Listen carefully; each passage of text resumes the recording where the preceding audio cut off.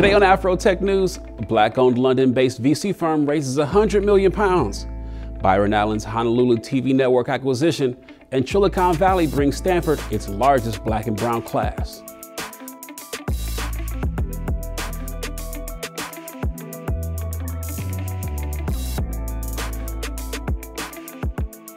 I'm Will Lucas for Afro Tech News. Black-owned London-based venture capital firm Impact X Capital Partners has raised 100 million pounds, roughly $131 million, to invest in black entrepreneurs in the entertainment, media, tech, health, and digital space, reports Shop Black. Founding member, principal, and CTO Asechi Britton said it's time for investors to put their money where their mouth is, saying, There's no doubt in our mind that black founders need more support. We're massively over-mentored and underfunded.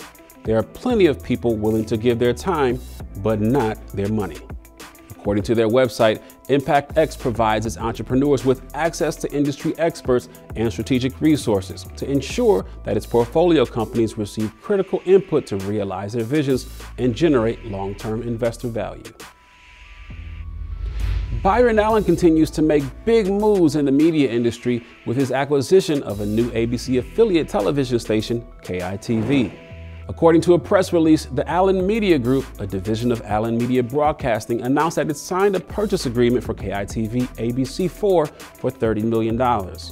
Broadcast television station KITV operates multiple satellite stations and translators, which would allow for rebroadcast programming outside of metropolitan Honolulu.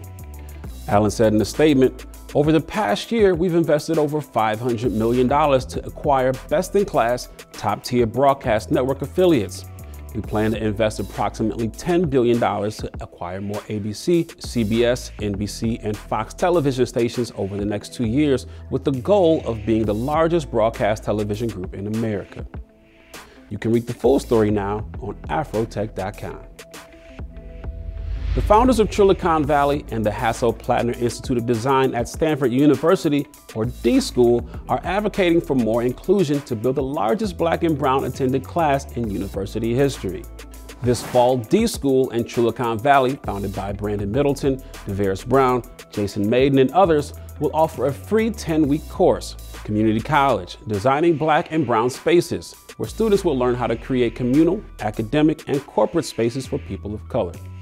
According to a description, students will be allowed to participate remotely in a series of participatory lectures and active provocations by black and brown creative misfits, leaders, and voices in photography, design, music, activism, tech, education, and entrepreneurship. And there's no need to worry about the cost.